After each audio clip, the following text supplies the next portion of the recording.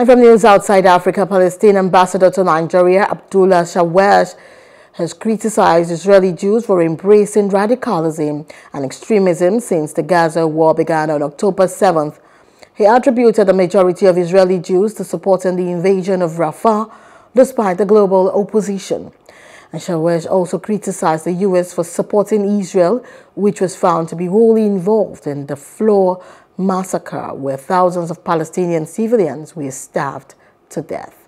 The Israeli Jewish society is degrading into more radical and extremism. While the entire world stands against the invasion of Rafah, 75% of the Israeli Jewish are supporting this war crime.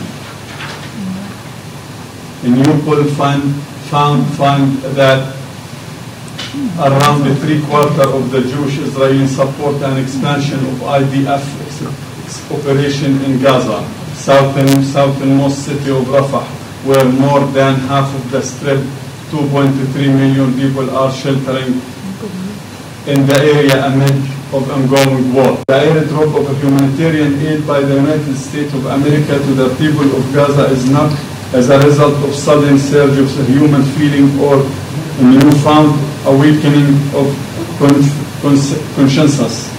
The decision to drop aid into Gaza from U.S. aircraft was made based on advice from legal advisor to, to mitigate the risk of being accused of complicity in genocide, particularly for those who supply weapons without strict condition on their use against civilians.